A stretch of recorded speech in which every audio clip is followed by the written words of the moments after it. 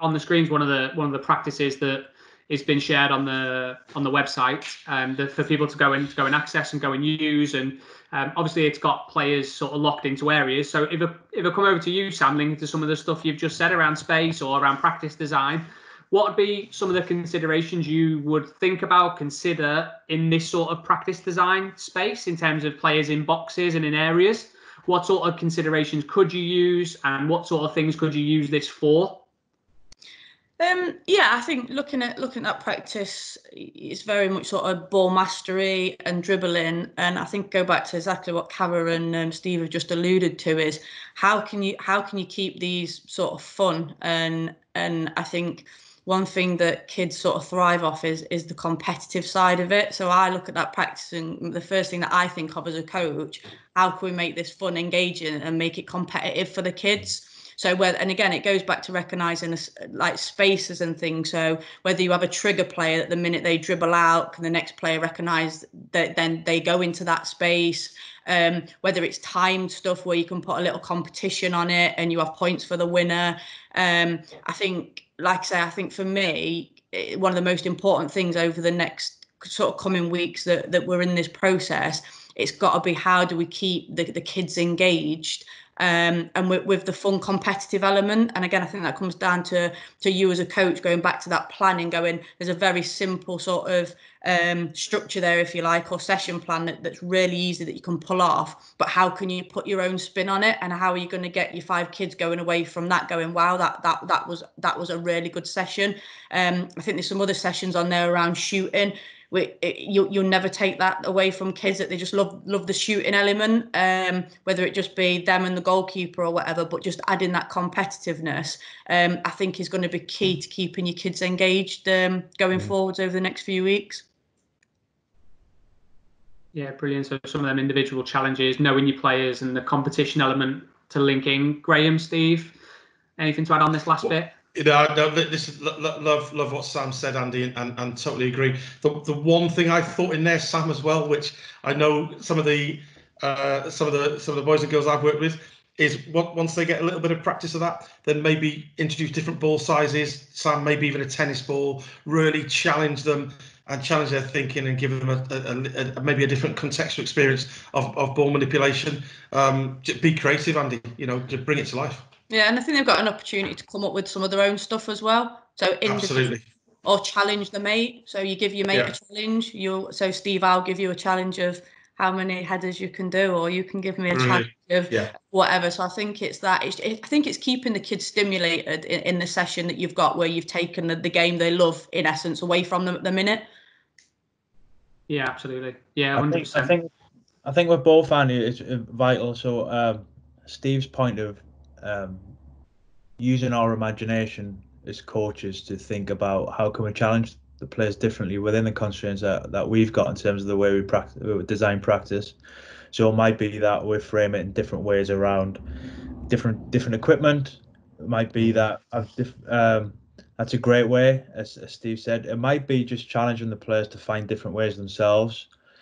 So in, in a in a in a dribbling practice such as this it might be the way they dribble might be the types of touches, the surfaces of the foot they use, the different combinations of that. It might be the sizes of touch. It might be the changes of direction once they go in and out of the the square and the changes of speed. There's lots of little things we can try and challenge, but really trying to tap into, as Sam says, so vitally around seeing what they can come up with and, and really tapping into to the mm. players themselves. So one one overriding important thing is trying to keep this like a, a feeling of playfulness um in the thinking and imagination really using imagination. So this might sound a bit out there and it depends on the age of the kids but really tapping into the kids' world and, the, and their imagination and what might make sense to them because kids have got great imagination haven't they? So we can tap into that um even imagining defender sometimes you don't need it just imagine there's a defender there what are you going to do or just like really i know i might be pushing it might not always work but i think it's just being prepared to to be playful with it um, and, and and modeling that a bit ourselves and being being prepared for, for the kids because and really tapping into their imagination and their own ideas i think another another thing with that is um, zones can be really you can use them in lots of different ways. So I know this is this is a dribbling session, but you you could um, you could do various things around like timing of runs into a square without maybe without the ball to um, different ways of doing that um, and like passes that arrive at the same time as somebody else um, do you know what I mean? So so you're still maintaining distances really importantly but um, yeah how can you can you play a pass to meet the run? Can you do that in different ways? Can you uh, move to the ball in different way whatever. So using the squares can be a great way of of doing that. And over the weeks or whatever even the size of the square that you have for something like that would change the target and change the challenge. So if you're trying to leave a leave a pass for somebody else to arrive and there's a smaller square it's probably more challenging to get the weight of the pass right and the timing of the run. So all these little things of like this is one session template if you like which you can use in lots of different ways with a bit of imagination and um, yeah i think so that playful idea of tapping into your own imagination and the kids is, is vital. Yeah, and I think the, the practices were put together with that structure bit in mind, as you've just said, more than the content. So I think that's really important when when coaches then start getting back on the grass with the players, that then they do start sharing as well of things that have worked and different things that they've done with the practices. As you as we've just alluded to as a four, there's probably 10 or 12 different things we've just discussed in some way within that one practice design. So I think that's really important that then we encourage people to share that, and we'll continue to try and share practices as we as we go through and adapt things that we can adapt during practices to get different returns on stuff. I think yeah, I agree with that. I think I, even I'm just looking at that, that practice as a coach now you know when you you sort of your head starts to spin and i think for any sort of coaches watching this i'd really encourage people to take that as as a sort of safety a, a good structure and go how many different practices can you come up with from that? Because there's some great passing practices that are just screaming at me from that and yeah it's a it's that, that's clearly like a dribbling one. So i think if you get your framework right and you get two or three basic frameworks and structures with uh, obviously adhering to the guidelines and then that's your job as a coach to then be creative with that of of how many different sort of sessions and, and what it can look like differently.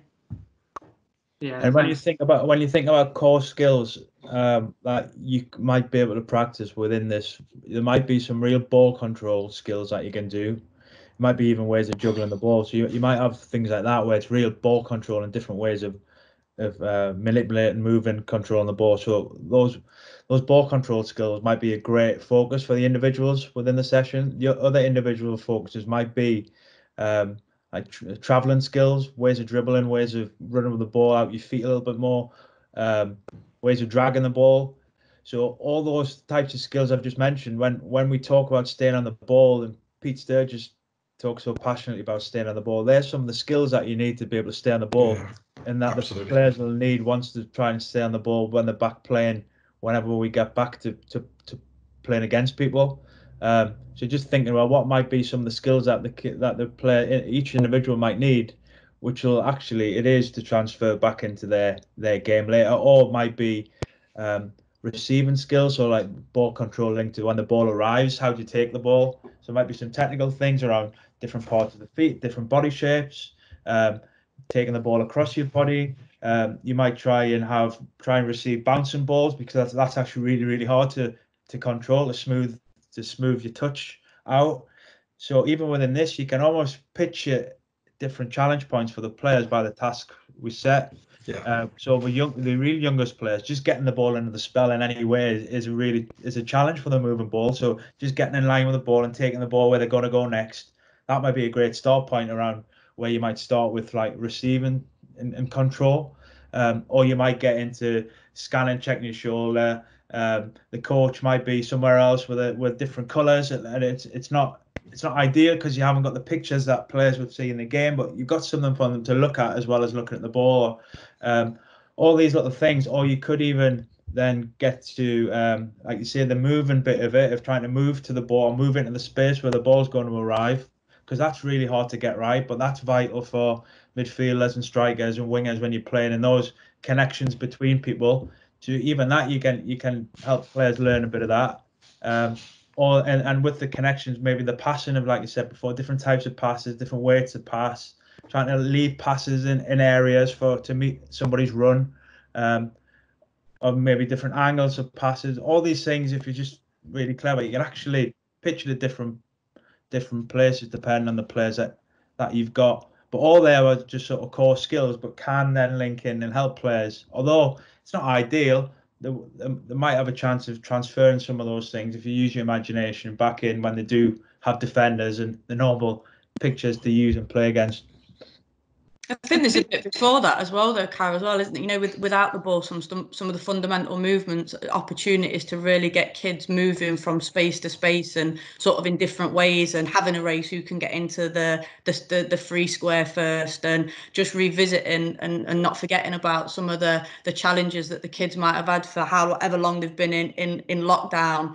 um, of just some of that fundamental stuff that that that is so important before they even get a ball at the feet. I thought I thought the same, Sam. Uh, that, that it could actually be an arrival activity uh, it, to, to, just start up gently and build it. Yeah, I thought exactly the same. And how much we've talked about one practice, and that's that's even without the benefit, Graeme, of of actually bringing it to life and then going reflecting on it. As Sam talked about plan, do, review, reflecting, and and also you know building in a little bit of time to to talk to your players and to to, to, to ask them what what what what did they really enjoy? What did they learn from it? What did they take away from it? What would they like to see added or taken away, increased or decreased? So so so much um, opportunities just within one practice.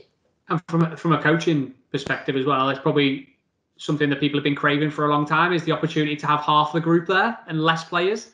So the opportunity to actually focus in on some of your players that are in front of you rather than having 10, 12, 14, 16 being able to really zoom in on five players is going to allow you to observe a lot more about that individual to be able to do what you've all said really around tailoring tailoring the practices to suit them better.